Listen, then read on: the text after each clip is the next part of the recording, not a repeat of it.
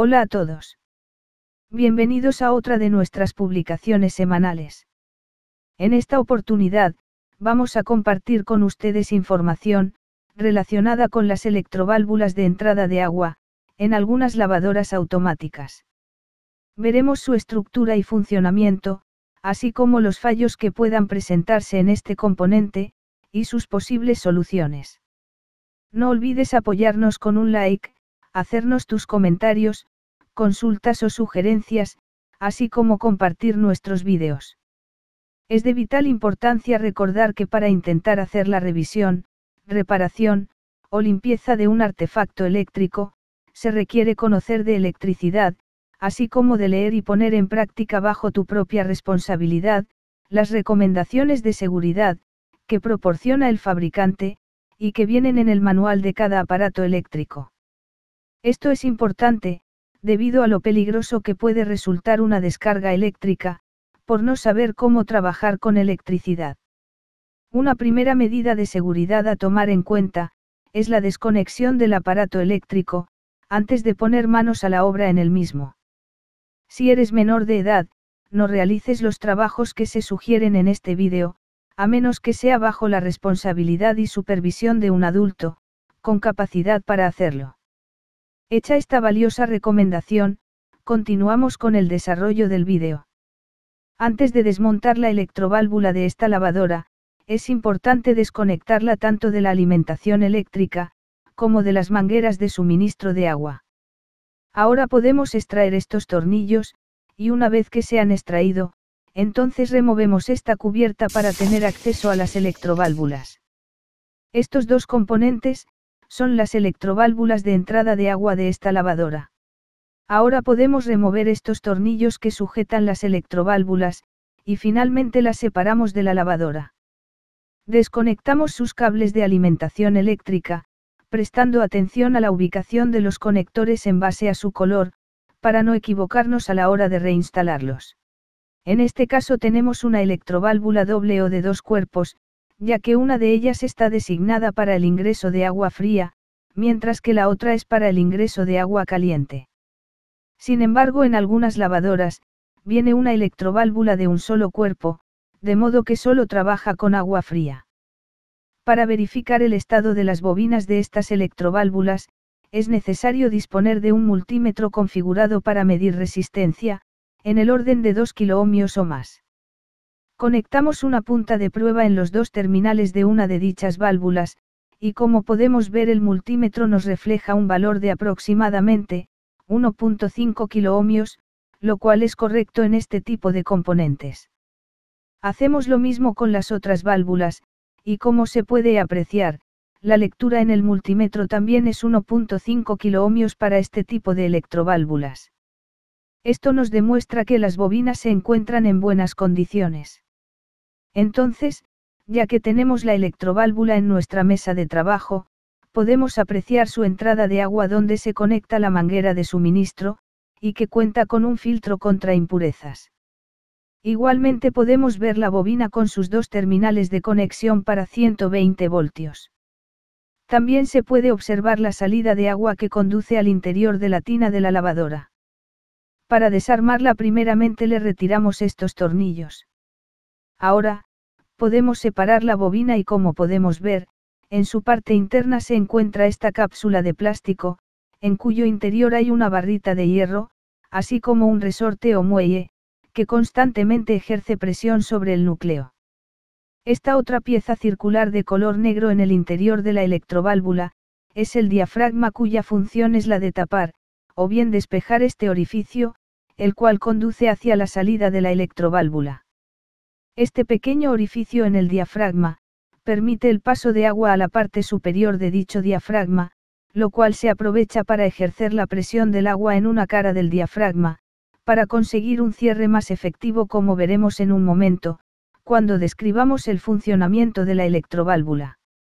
Si conectamos los terminales de la bobina, a un cable de alimentación de 120 voltios, y asumiendo las precauciones del caso, veremos cómo el núcleo es desplazado hacia dentro de dicha bobina, ya que en la misma se forma un electroimán que atrae al núcleo de hierro. Luego al desconectar la corriente, el electroimán desaparece, y el núcleo es impulsado hacia afuera de la bobina por efecto del muelle. Vamos a describir el funcionamiento de una electroválvula, apoyándonos en estas imágenes ilustrativas. Como pudimos apreciar al momento de desarmar la electroválvula, la misma cuenta con una entrada y una salida de agua. También pudimos ver que en su estructura lleva una bobina cilíndrica, en cuyo interior tiene un núcleo móvil de hierro, así como un muelle que ejerce presión sobre el núcleo. En condiciones de reposo, es decir, cuando la bobina no recibe corriente, el muelle empuja al núcleo hacia abajo, y este hace presión sobre el centro del diafragma, con lo que se consigue cerrar el orificio que conduciría el agua, hacia la salida de la electroválvula. En estas condiciones, al conectar la manguera de suministro de agua a la entrada y abrir el grifo, el líquido que ingresa a la electroválvula, atraviesa también el pequeño orificio del diafragma, de modo que el agua también ejerce presión sobre la parte superior de dicho diafragma. De esta manera, se aprovecha tanto la energía del muelle como la presión del agua, para conseguir un cierre efectivo del agua hacia el interior de la lavadora.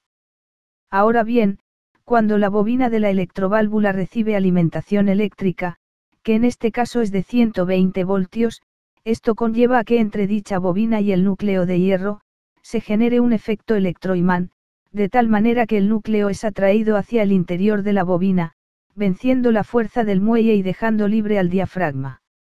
Al desaparecer la presión del núcleo sobre el diafragma, el mismo es empujado hacia arriba por la presión que ejerce el agua en su parte inferior.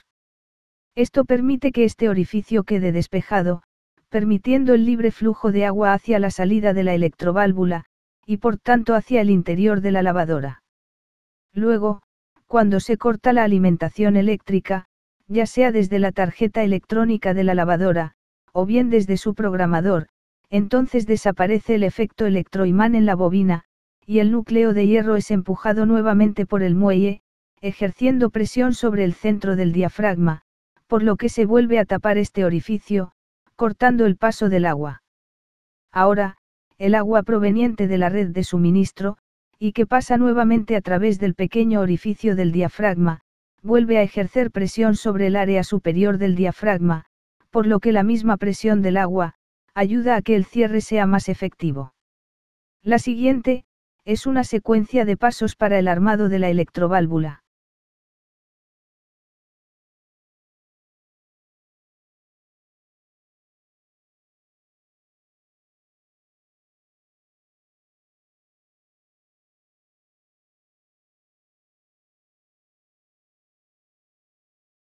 Ahora bien, para probar el funcionamiento de estas electroválvulas, podemos conectar una de ellas a una manguera de suministro de agua. Para esta prueba, también se requiere de un cable de conexión eléctrica para 120 voltios, así como de adoptar las medidas de seguridad, evitando tocar con nuestras manos los terminales que energizaremos. También es muy importante, asegurar la electroválvula de modo que no se caiga mientras esté energizada. Entonces, estando el cable desconectado del toma corriente, conectamos los terminales del cable de pruebas, a los terminales de la electroválvula, a la cual le hemos puesto la manguera de suministro de agua. A continuación, abrimos el grifo de suministro de agua, y si la electroválvula está funcionando bien, la misma no debe dejar pasar ni siquiera una gota de líquido, ya que se encuentra apagada, es decir que aún no se le está suministrando corriente eléctrica. En caso contrario, si la válvula deja pasar agua estando desconectado el cable de alimentación, entonces estamos ante la evidencia de un fallo, ya que es posible que haya suciedad dentro del componente, impidiendo el cierre adecuado. De igual forma podría ser que se haya roto el diafragma de esta válvula, y por tanto la misma debe ser reemplazada. Pero si el cierre se realizara según lo previsto, entonces podemos conectar el cable de pruebas al toma corriente de 120 voltios, evitando tocar los terminales con nuestras manos para evitar una peligrosa descarga eléctrica. Al conectar el cable, inmediatamente debe comenzar a salir agua de la electroválvula. En caso contrario, es posible que no esté llegando agua a la electroválvula, o que la bobina de la misma esté averiada, por lo que debe ser reemplazada.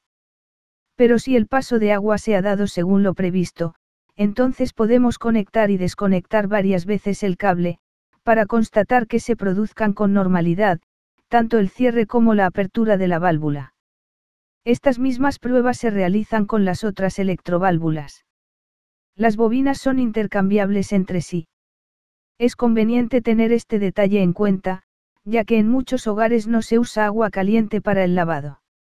De tal manera que si se llegara a dañar la válvula de agua fría, bien podríamos usar en su lugar la de agua caliente, realizando el respectivo cambio de conectores, de modo que el conector de la válvula de agua fría, se lo instalemos a la de agua caliente, y así la tarjeta reconocerá a esta válvula como si fuera la de agua fría. De igual manera es importante tener en cuenta, que al seleccionar la temperatura del agua en el panel de control de la lavadora, debemos seleccionar siempre agua fría. Para reinstalar el componente en la lavadora, solo debemos realizar el proceso inverso al desmontaje, asegurándonos de dejar todo tal y como se encontraba antes de desarmar. No olvides apoyarnos con un like, hacernos tus comentarios, consultas o sugerencias, así como compartir nuestros vídeos. Gracias por tu valiosa visita, y que Dios te permita estar siempre muy bien. Nos vemos en un próximo vídeo, bye bye.